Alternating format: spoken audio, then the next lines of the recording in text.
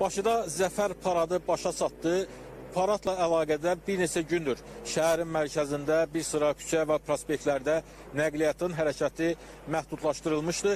Bu məhdudiyyət hələ də e, bəzi küçələrdə davam edir və gördüyünüz kimi e, yol polisi əməkdaşları bir sıra e, yollarda nəqliyyatın hərəkətini nizamlayırlar və e, şəhərin mərkəzinə doğru yolu bağlayıblar.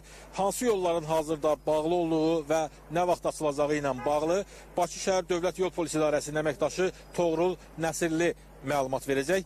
Toğrul müəllim, e, hal-hazırda hansı küçə və prospektlər bağlıdır və e, bu məhdudiyyət nə vaxta qədər davam edəcək?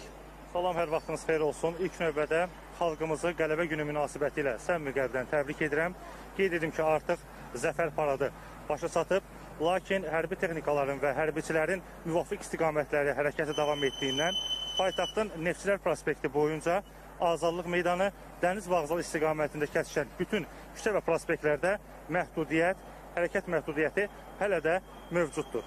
Günün sonuna qədər bəzi küçə və prospektlərə qoyulmuş məhdudiyyət tədricən aradan qaldırılacaq və fürsətdən istifadə edib bir daha yol hərəkəti iştirakçılardan, e, sürücülərdən xahiş edirik ki, şəxsi avtomobillərdən həmin istiqamətlərdə istifadə etməsinlər ki, həm e, süni sıxlığın və tıxacın yaranmasına səbəb olmasın.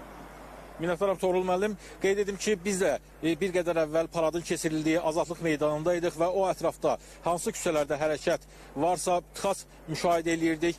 Bakı şəhər Dövlət Yol Polisi İdarəsinin əməkdaşı da sürücüləri həmin əraziyə şəxsi avtomobillərlə daha az hərəkət etməyə e, çağırır və qeyd edim ki, bu həm tıxacların yaranmasına səbəb olur, həm də e, bağlı yollarda dövlət yol polisi əməkdaşlarının da işini çətinləşdirir.